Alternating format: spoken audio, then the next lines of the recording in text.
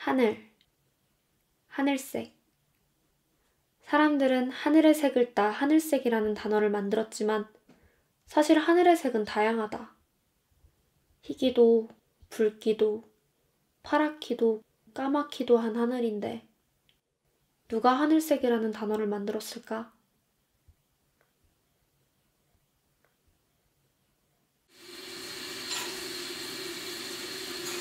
배안 고파? 저녁 차려줄까? 음, 내가 알아서 먹을게. 그래도 밥은 먹고 해야지 저녁 시간인데 한잔 구워줄까? 배 안 고파. 이따 먹고 싶으면 내가 차려 먹을게. 공부는 잘 돼가? 음,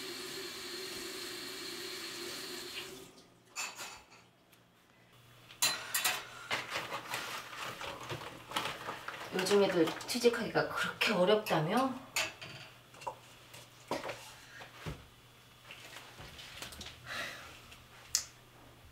그래도 우리 소정이는 잘할 거야.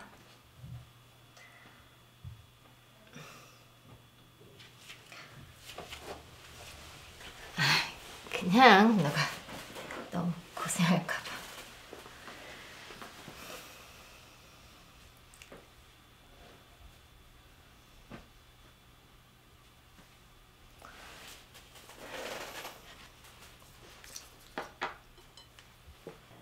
혜수 엄마가 또 사과 가져다 줬다?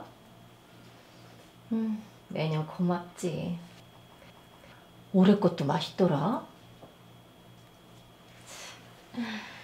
그 엄마 몇 년 전에는 딸이 대학 안 가고 취직한다니까 그렇게 걱정하더니 지금은 다행히 얼굴이 활짝 폈더라고.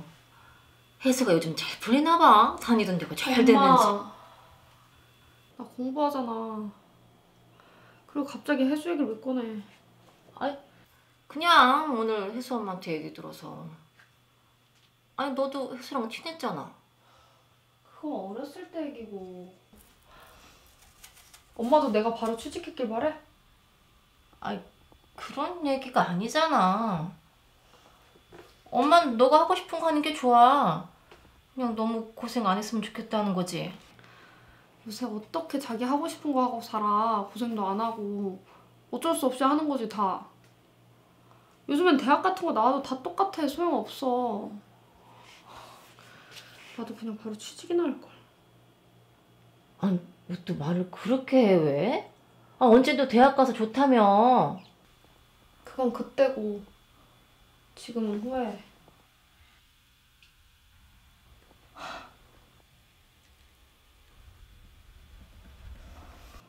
아무튼 나도 열심히 하고 있다고.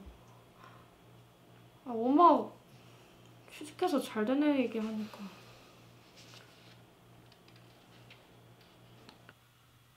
엄마가 엄마 친구랑 만나서 한 얘기 좀 하는 것도 안 되니? 너 그런 식으로 말할 때마다 엄마도 힘들어.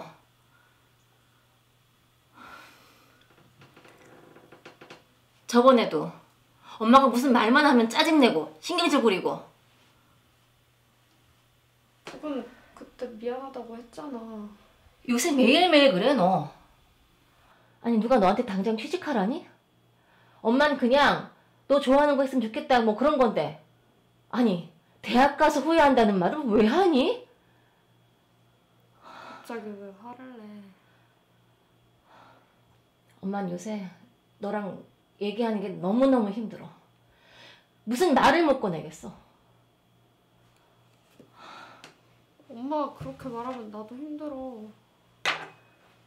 그렇게 갑작스럽게 화를 내는 엄마는 떨리는 목소리의 엄마는 내겐 처음 보는 엄마였다.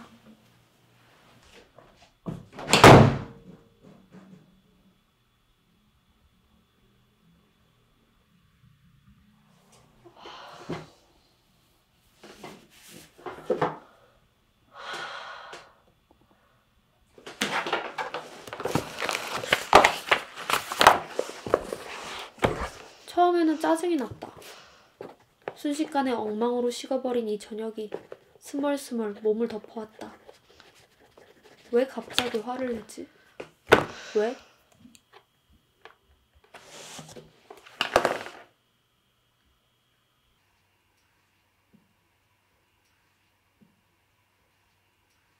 하늘에는 수많은 색들이 있다. 그러나 우리는 오직 파란 하늘만을 가리켜 하늘색이라고 부른다.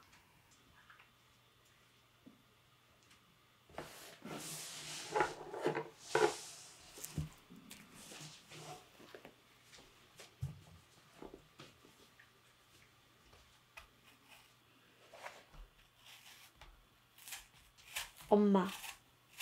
나는 엄마에게 존재하는 무수한 색깔들을 우리 엄마라는 단어로 가리고 있지 않았나.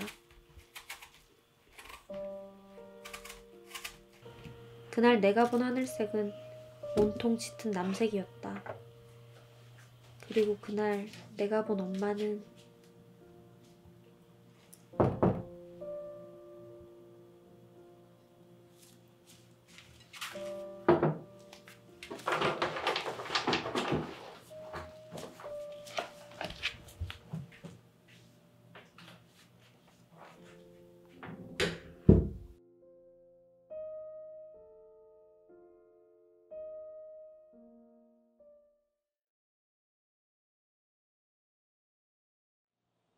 어 회사 생활은 어때? 혜수에게서 전화가 왔다. 혜수네 엄마가 전화를 받지 아, 않으셔서 걱정이. 됐다고 한다. 응 맞아. 오랜만에 혜수의 근황을 들었다. 아우 야근을 그렇게 시킨다고? 아우 너무하네. 어 주말 이틀 순식간이야. 일요일 저녁이 제일 싫잖아. 그치? 어 그래 잘 지내고 동네 오면 한번 보자. 아.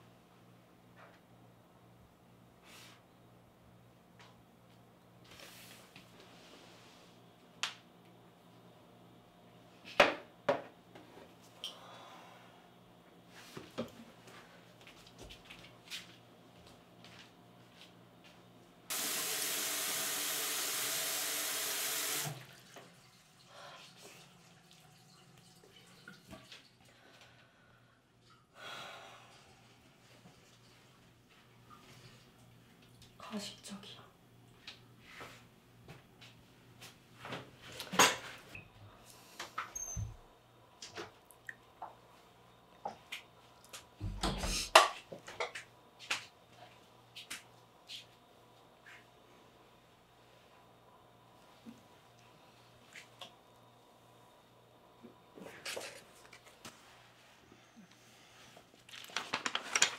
아유 왜 이래 정신없게. 방해하는 거지롱. 아유 참. 어? 이거 뭐야? 엄마 용돈? 엄마 용돈? 내 거?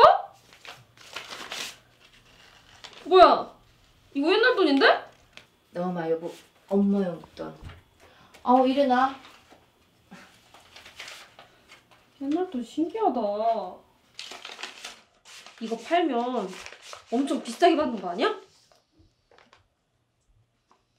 엄마, 근데 엄마는 왜 이렇게 오래된 지폐를 안 쓰고 가지고 있어? 용돈이라며. 뭐야, 왜 대답 안 해? 나 갖는다. 아니 가져오라고. 엄마, 이거 할머니가 주신 거야?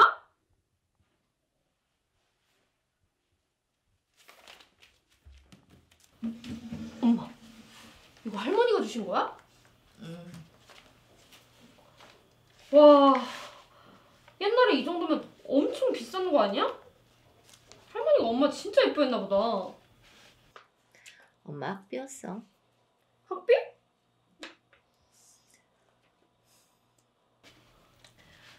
너 삼촌 대학 보내느라 엄마 대학 못 갔으니까 엄마 공부 잘했거든. 할머니가 미안해서 할아버지 몰래 모아둔 돈 주신 거야.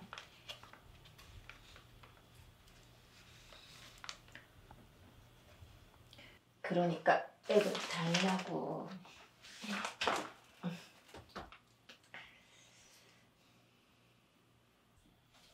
속상했겠다.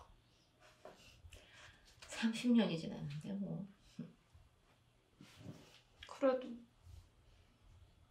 엄마 뭐 하고 싶었는데? 음, 지금 하는 거?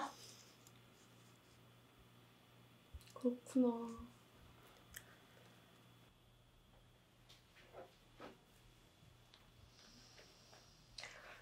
내가 엄마 그때 마음 이해할 수 있을까? 글쎄. 아까 속상했겠다며. 나는 안 겪어봤잖아. 너도 그렇게 느꼈으니까 그렇게 말했겠지. 아닐 수도 있잖아. 엄마는 진짜 같았어. 그럼 됐네. 글쎄. 아닌가? 아닌가 봐. 아 뭐야? 진심이 아닌가? 아니야. 경험해보지 않은 타인의 삶을 이해하는 일은 쉽지 않다. 당장 눈앞에 놓인 내 상황에 갇혀 상대를 이해하는 일은 뒷전이 되어버릴 때도 있고, 바로 곁에 있는 사람의 삶조차 알기 어려울 때도 있다.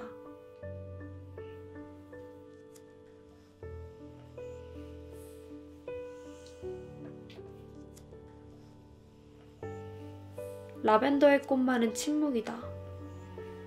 오랜 침묵의 시간 속에 담아뒀을 엄마의 마음을 나는 이해한다고 말할 수 있을까?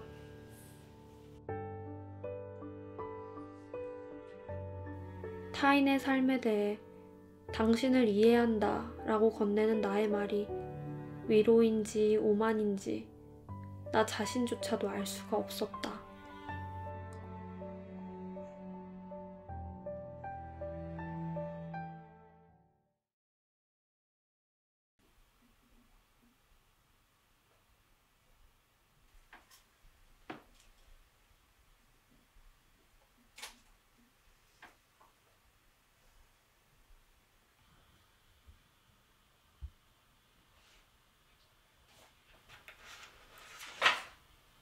아, 맞다.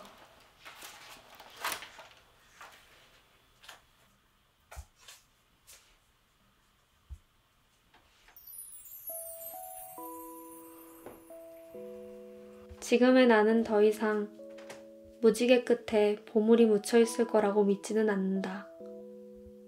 그건 너무 어렸을 적의 동화니까. 동화 속에 사는 아이기엔 나는 너무 커버렸다. 그렇지만 어른의 세계에도 보물은 있었다. 금은보화도 황금 꿀단지도 아니지만 그 보물은 시간의 흐름 속에서 더욱 반짝인다.